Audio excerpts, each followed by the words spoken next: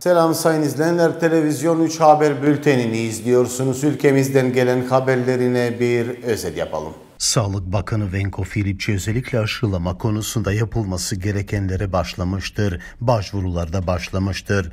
Sağlık Bakanı Venko Filipçi'ye göre özellikle COVID-19 aşılaması için başvurular internet üzerine yapılacağına dair olarak haber paylaşıldı. Konuyla ilgili olarak şimdilik 4000 kişi başvuruda bulunmuştur. Bunlardan ise yarısı tam Üsküp'ten gelmektedir. Geri kalan vatandaşlar da internet üzerinde aşılama konusunda başvurusunu yapabilir.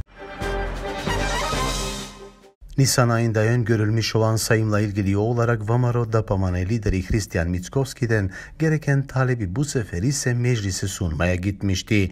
Oradaki meclis başkanı Talat Caferi mevcut olan isminin kullanmaması tam anayasaya uygun olarak olduğundan dolayı kendisi mevcut olan talebi geri reddetmiş oldu veya iade etti.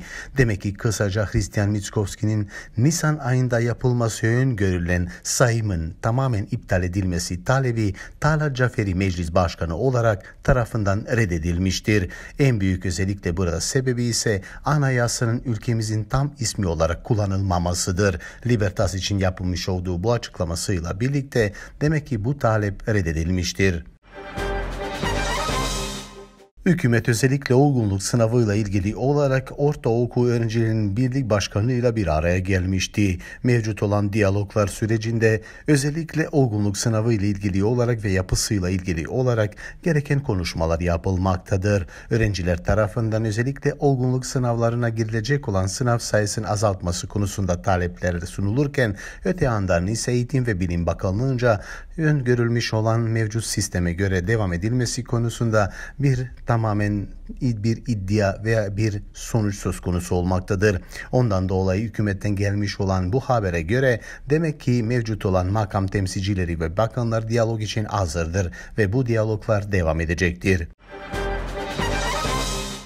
Adalet Bakanı Boyan Mariçiç özellikle 27 Nisan olayları değerlendirirken ve gazetecilerin tam görevini değerlendirirken gazeteciler çoğu zaman kurban oluyor. Birçok özellikle olaylardan en büyük darbeyi yine gazeteciler almıştı. Bunu önlemek için ve bu konuda gazetecilerin özellikle haklarına sahip çıkabilmek için Adalet Bakanlığı'na da büyük bir görev düşmektedir. Televizyon 24 için yapmış olduğu açıklamasına göre 27 Nisan'da sadece bazılar değil mevcut olan gazetecilerin de kurban kurban olduklarına dair olarak gereken ispatlarla söz konusu olmuştu. Ondan dolayı Adalet Bakanlığı'nca yapılacak olan çalışmalar ve atılacak olan adımlar özellikle gazetecinin korunması konusunda da bu yönelik olacağına dair olarak haberini paylaşmıştı. Sırada ise bölgemizden gelen haberlerimiz vardır.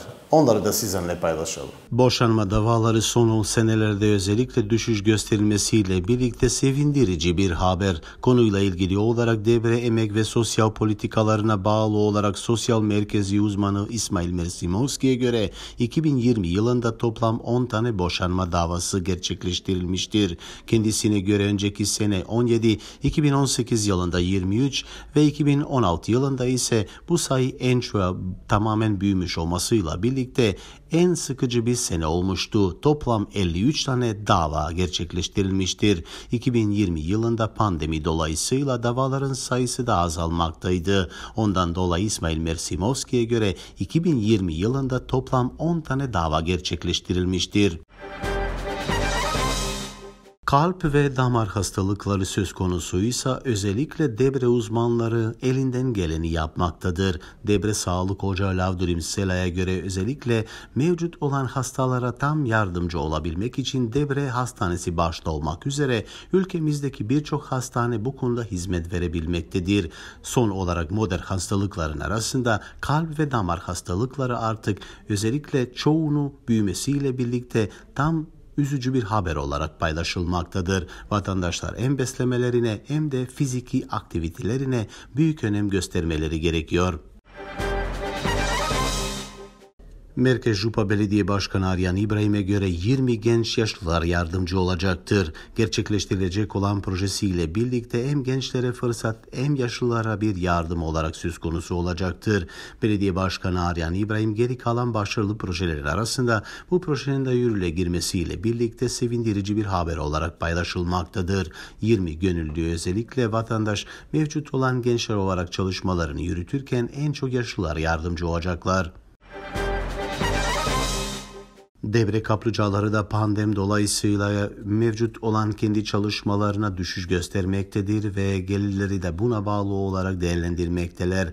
Mecit Sapa'ya göre normal olarak 90 bin civarında bir geceleme sayısı söz konusuysa son senede ise sadece 21 bin geceleme söz konusu olmuştur.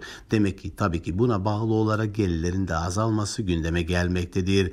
Bilindiği gibi Mecit Sapa'nın başta olduğu Sapa kaplıcalarının özellikle yatırım yatırım politikaları son senelerde büyük bir hızla artmaktaydı. Yine de mevcut olan bütün bu çalışmalar son olarak da pandemi dolayısıyla belli bir seviyeye kadar durdurulmuştur. Son haberimiz özellikle üzücü bir haber. Debre ve Debre bölgesi için büyük bir ismin tamamen ortadan yok olması üzücü bir haber olarak paylaşılmaktadır. Ekoloji uzmanı Fatmir Alili vefat etmiştir. Kendisi hem standart kamu şirketi başta olmak üzere birçok alanda kendi mevcut olan tecrübesini ve bilgisini kullanmıştır. Hem Debre Belediyesi hem çevresi Fatmir Ali'den büyük fayda görmüştür. Haber bültenimiz sona erdi. Görüşmek üzere efendim.